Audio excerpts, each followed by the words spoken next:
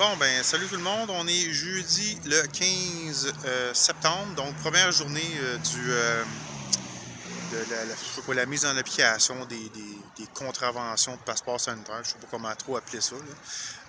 Donc, j'avais dit que je ferais le tour de Beaubriand, des outlets, comme j'avais fait le 1er septembre, en fait. Donc, je là, il y a plus de monde, c'est sûr, dans les restos. Il fait un peu plus beau, tout ça. Euh, donc, je vais faire le tour. Je vais essayer de filmer sans. Ben, tu je ne veux pas achaler le monde. Je vais essayer de ne pas trop être intrusif. Donc, euh, ce que je fais, c'est que je pourrais comme, plus commenter peut-être quand on sera euh, au bord des restos. Donc, quand il y aura une petite. Entre deux restos, quelque chose comme ça. Donc, je vais commencer. Je pars. J'ai toujours mon. Coda. J'ai toujours mon chien qui est là, qui m'accompagne. Donc, on part avec ça. On va regarder. Donc, ici, en arrière de moi, il y a le. Comment il appelle ça? Pizza 900, je pense. Ouais, Pizzeria 900. Euh, il y a du monde, c'est pas comme super plein. Là, il est comme juste dire, il est 7h, il est un vrai 7h. Il est pas mal 19h là. Euh. Donc euh, on va faire le tour. Là, je m'en vais à la Belle et la Bœuf. Belle et la Bœuf, habituellement, ça attend dehors. L'été, ça attendait dehors. Parce que une soirée d'été, il fait, encore super beau. Donc, euh, ok, là, mon chien tire un peu, je m'excuse. Là, si je regarde l'entrée, il n'y a pas vraiment de monde à l'entrée. Par contre, la terrasse, il y a du monde. Je ne sais pas à quel pourcentage par rapport à ce que c'est d'habitude. Donc, on va faire un petit tour à côté de ça. Si je regarde... C'est sûr qu'ils n'ont pas le choix, je pense, de respecter une certaine distance entre les tables. Mais il y a quand même un peu de monde. Attendez un peu.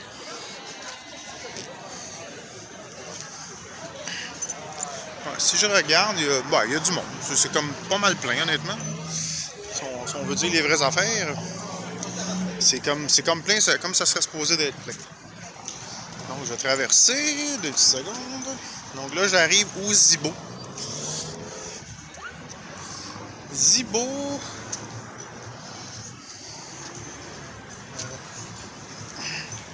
Bon, Zibo, c'est pas long parce que mon chien tire pas mal. Euh... Allez, viens, coton. Il euh, y a du monde. Il y a du monde. Je vais essayer de filmer la terrasse en passant.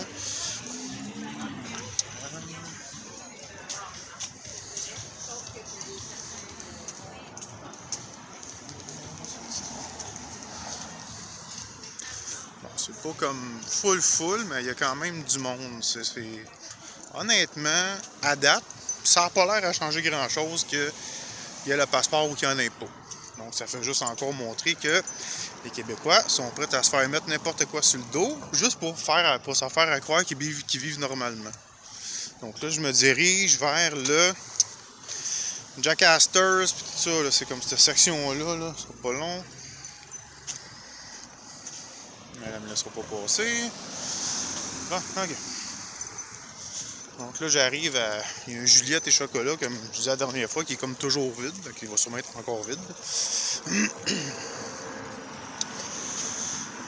Là, ce que je ferai rendu au, au Jack Astor, c'est que j'irai comme. La, la plupart des gens connaissent peut-être pas c'est où, là. Une place au centre qu'on peut voir comme les terrasses qu'il y a alentour. Fait que je ferai comme un petit tour d'horizon à partir de là. Mais c'est ça. Non, je pense que les gens vont y aller quand même. En tout cas, ici, je sais pas si ça va être comme ça partout. Mais Rive-Nord, là, Rive-Nord, c'est. Il a l'air d'avoir autant de monde qu'il y en avait cet été, honnêtement. Là.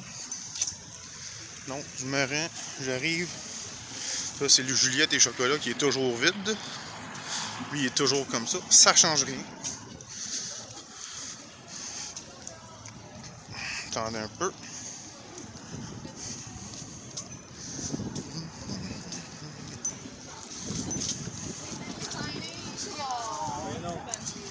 Donc ici à côté, c'est un, genre de restaurant asiatique. Je vais vous montrer ça.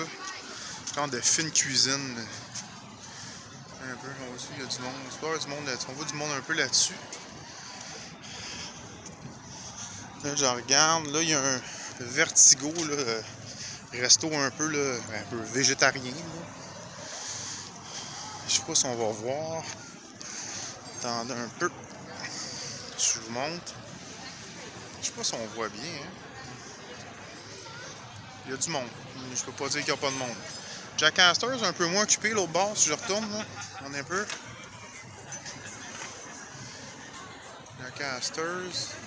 Jack Astor's, je dirais qu'il y a peut-être 7, 7 tables d'occupés dehors. Là. En, en, dedans, je sais pas parce que je vois pas, je suis un peu loin. Là, après ça, on a un bâton rouge en face. Rouge. On arrive, on arrive, on arrive. Excusez si ça brasse vraiment parce que mon chien il tire un peu là. Bon. Ok, bâton rouge. Bon. C'est comme. C'est comme normal. On dirait ce qui se passe là-bas. Si je vous montre, je sais pas si on voit là. Bâton rouge. Il y a quand même du monde là-dessus. Il reste un. C'est quoi qu'il y a ici? Oh, un Vini Gambini. On va aller au Vini Gambini. On va traverser sans se faire frapper. Merci. Bon, c'est bon. Je vais vous montrer le bâton rouge. On voit, suis un peu plus proche là. On voit dessus. On voit pas grand chose. Ah, il y a du monde. Pour y a du monde. Ok.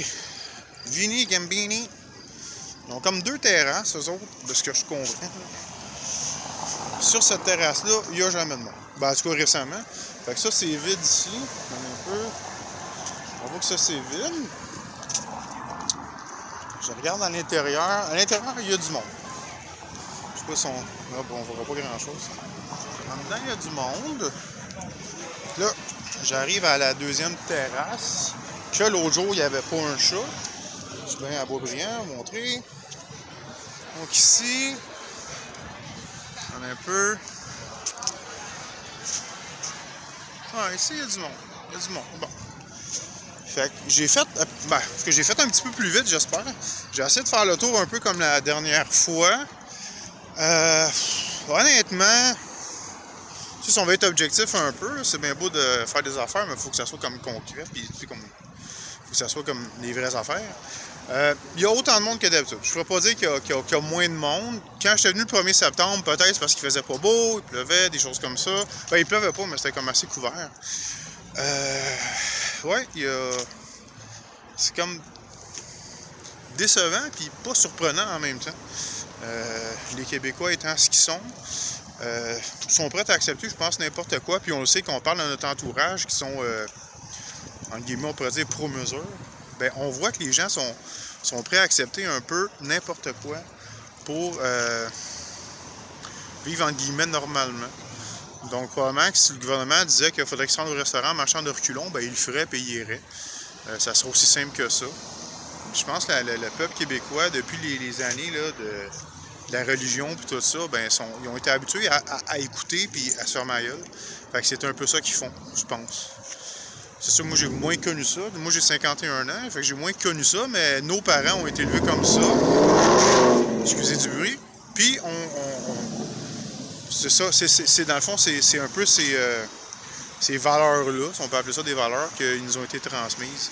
Fait que oui, euh, à date, les gens. Il y a bien des restos qui disent que bon, ça a baissé, mais ici, en tout cas, ça n'a pas l'air. Je ne peux pas dire que ça s'applique à Boisbriand parce que je pense pas que ça a vraiment baissé ici. Euh, non, ça va être pas mal normal. Euh, c'est business as usual, comme on dit. Donc, euh, je sais pas si dans votre coin, vous autres, c'est différent, mais ici, c'est comme. Bon, je pense pas que ça, affecte bien, bien les business, honnêtement. Donc, euh, ça sera de voir à long terme ce que ça va donner, mais si vous avez des clips, si vous avez des commentaires, ben mettez-les, c'est toujours le fun de les lire. Donc, ben, bonne soirée tout le monde, ciao!